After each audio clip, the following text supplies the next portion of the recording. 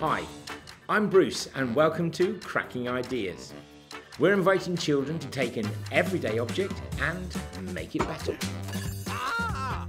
In these videos, I'm going to give you some hints and tips that will help you engage your children, inspire them to come up with new creative ideas using the Cracking Ideas resources. This competition helps children to understand the principles of creative ideas by taking them through the process of research, design and evaluation, as well as teaching them the fundamentals of intellectual property. Just make sure you check the rest of these useful videos that will help you to inspire your children to create their own cracking ideas.